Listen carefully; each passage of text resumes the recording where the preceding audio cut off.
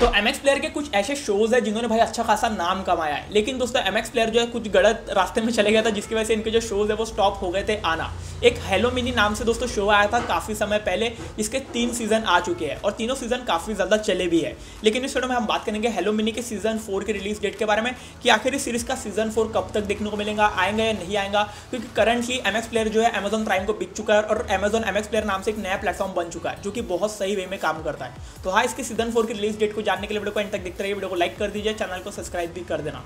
बात करें इसकी सीज़न फोर की अपडेट के बारे में तो डेफिनेटली तीन सीज़न जिस तरीके से देखने को मिले कहानी आगे बढ़ाई जा सकती है अगर इसके राइटर चाहे तो। और राइटर तभी दोस्तों कहानी आगे बढ़ाते हैं जब इसे खुद का प्लेटफॉर्म यानी कि जो प्रोड्यूसर है प्लेटफॉर्म वाले खुद भाई ग्रीन सिग्नल दे दे, या फिर कहते कि भाई अगला सीज़न इसका बनाओ प्लेटफॉर्म पर डालने वाले हैं। तो ऐसी कुछ चीज़ें अगर इसके साथ होती है तो ये डेफिनेटली इसका सीज़न फोर आपको देखने को मिलेगा। लेकिन अभी तक इसे ग्रीन सिग्नल नहीं मिला या फिर रिन्यूअल नहीं मिला है। क्योंकि आपने देखा होगा अमेजॉन एमएक्स प्लेयर के कई सारे ऐसे शोज़ है जो कि आपको बहुत जल्दी जल्दी देखने को मिलते हैं। तो अगर सेम सी चीज़ इसके भी साथ होती है तो आप एक्सपेक्ट कर सकते हो। कि इसका सीज़न फोर जो है, वो आपको अगले साल नहीं, बल्कि 2026 तक देखने को मिल सकता है। क्योंकि अभी तक इसे रिन्यूअल नहीं मिला है शूटिंग वूटिंग के ऊपर कुछ भी काम नहीं हुआ है तो 2026 तक इसका सीज़न फोर आ सकता है। उससे पहले आने के चांसेस बहुत कम है। लेकिन हाँ आ ज़रूर सकता है। क्या सोचते हो शो के बारे में? आप में से कितने लोग फ़ैन है? या फिर इस शो को ही भूल चुके हो?